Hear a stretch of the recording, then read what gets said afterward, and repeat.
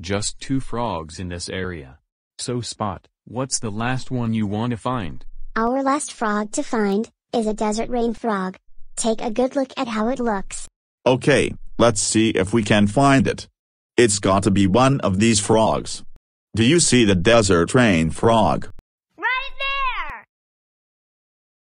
Yeah, that's the one. That's the desert rain frog. Amazing, isn't it? Very amazing.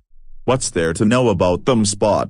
The thing I know about the desert rain frog is that they're a plump species with bulging eyes, a short snout, short limbs, spade-like feet, and webbed toes.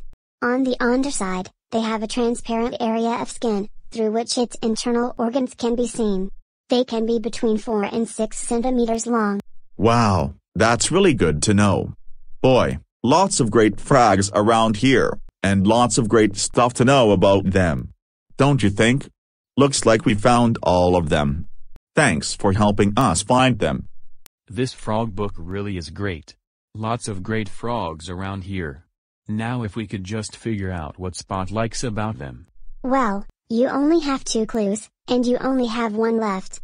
Come on, let's go.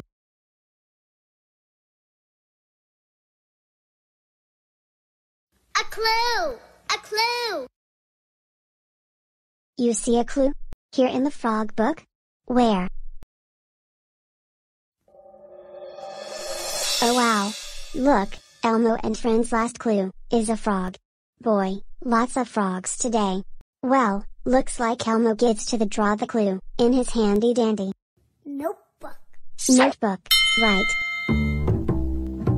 Elmo will draw two circles for the eyes, an oval for the body, then the frog's legs, the hands, two dots for the nose, and a curve like this for the mouth. There, a frog. Hey, that's Elmo and Friends' last clue. We have all three clues to figure out what Spot likes about frogs. Elmo and Friends are ready to sit in our Thinking chair! thinking chair. Come on,